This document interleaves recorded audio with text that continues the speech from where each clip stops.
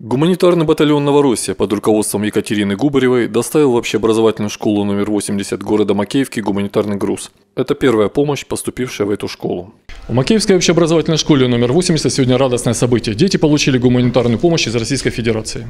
Ранее, еще в январе, в школу доставили только небольшое количество продуктов питания, которым сейчас и кормят учеников. Сегодня же это было внушительное количество канцелярских принадлежностей, в том числе книги, тетради и учебники. Привез такой ценный для детей груз депутат Народного совета фракции «Свободный Донбасс» Андрей Валерьевич Мирошниченко. Мы сегодня в очередной раз оказываем помощь самым маленьким нашим жителям нашей Новороссии. Это тем детям, которых, ради которых мы поднялись на эту войну, ради которых мы стараемся, работаем сейчас днем и ночью. Э, для чего нужна эта помощь? Прежде всего для того, чтобы эти дети получали знания. Они будущие строители нашего государства. Это наше будущее, ради которого мы живем.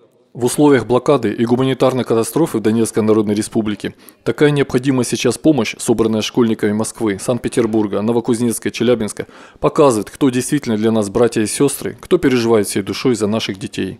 Сегодня, хоть и на улице пасмурно, но у нас сегодня прекрасный день. Мы получили сегодня замечательные подарки, которые старалась собрать фашистов вся Россия. Это наши учителя, это наши такие же сверстники, как наши школьники.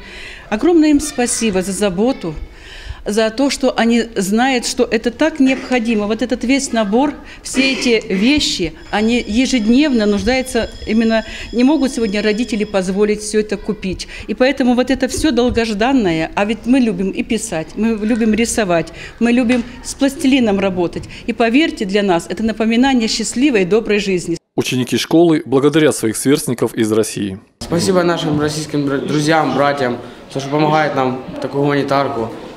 И Донецкого народного ополчения большое спасибо, то, что заботятся о нас и никогда не забывают. Мы очень рады, конечно, счастливы, потому что не, не у всех хватает денег, чтобы купить э, те же наши принадлежности, книжки, там, э, тетрадки, карандаши, и эта помощь будет очень полезна. Спасибо за эту гуманитарную помощь, за эту канцелярию. Спасибо за то, что нам есть на чем писать, рисовать, чем есть. Спасибо за все. Школа постоянно участвует в республиканских конкурсах и соревнованиях, получая призы и занимая первые места. Ее ученики неоднократно становились победителями на городских олимпиадах и состязаниях.